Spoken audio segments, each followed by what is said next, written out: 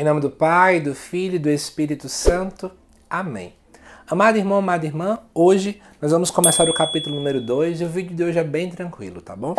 Do versículo 1 até o versículo 5, olha o que, é que Paulo fala.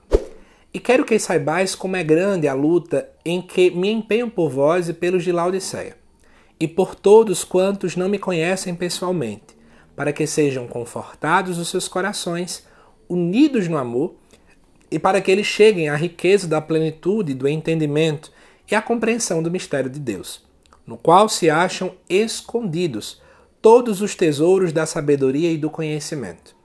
Digo isso para que ninguém vos engane com argumentos capciosos, pois, embora esteja ausente no corpo, no espírito estou convosco, alegrando-me ao ver a vossa boa ordem e a firmeza da vossa fé em Cristo.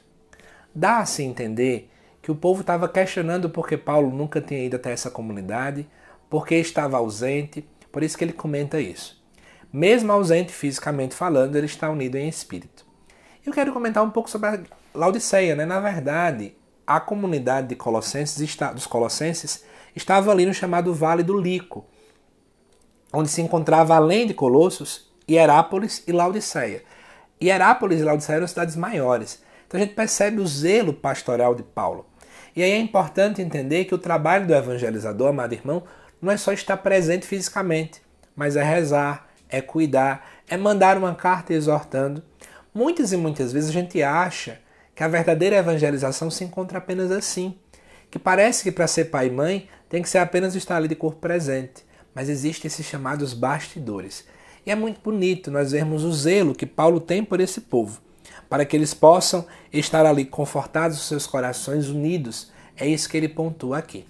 Mas aí eu vou te chamar a atenção. A partir do vídeo de amanhã, nós vamos adentrar agora numa grande sequência de exortações que Paulo faz à grande heresia que existia lá. Se prepare, que agora vem uma parte bem interessante do nosso estudo, tá bom? Eu te aguardo amanhã, às 6 horas da manhã. Até lá!